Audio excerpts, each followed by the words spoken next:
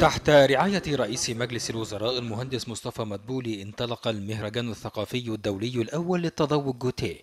تحت شعار عالم واحد ثقافة متعددة وذلك بحديقة قصر البارو المهرجان يهدف إلى مزج الحضارات والثقافات بين الدول والدعوة إلى التعارف والتآلف والسلام بين جميع شعوب العالم. طبعا المهرجان مشرف جدا جدا جدا والحقيقة يعني حاجة كبيرة قوي وسعيدة جدا إن ده حصل في مصر.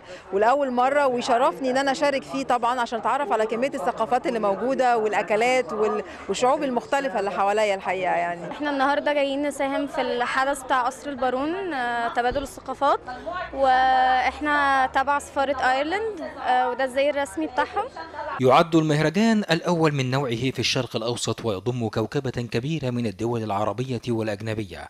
وشهد المهرجان العديد من الفعاليات الثقافية والفنية والفولكلورية والشعبية التي تشتهر بها كل دولة بالإضافة إلى تقديم وتذوق أشهر الأطباق التقليدية فضلا عن المعروضات الفنية أو المشغولات اليدوية والتراثية. آه، هو أكيد مشاركتنا دي حاجة مهمة آه، إن إحنا نتواجد النهارده في المهرجان آه، جوتيه لأن ده بي آه، التواصل ما بين الدول دي حاجة مهمة جدا و...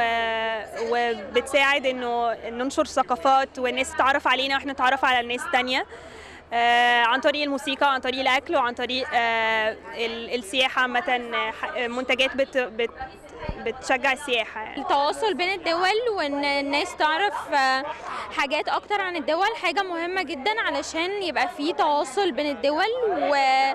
ويعني الناس تعرف أكتر عن الثقافات ال... يعني الثقافات المتنوعة عن الدول يعني يشارك بالمهرجان كوكبة كبرى من أهل الفن والثقافة والسياسة والاقتصاد ونجوم الرياضة والإعلام ورجال الدولة وكبار الكتاب والفنانين وكذلك الأجانب المقيمين من جميع الجنسيات مهرجان جوتيه الذي يعد الأول من نوعه في الشرق الأوسط جمع العديد من الحضارات والثقافات من دول العالم ودعا في الوقت نفسه إلى التآلف والإخاء والسلام بين جميع شعوب العالم والذي بدا واضحا من خلال فعاليته رمضان المطعني النيل.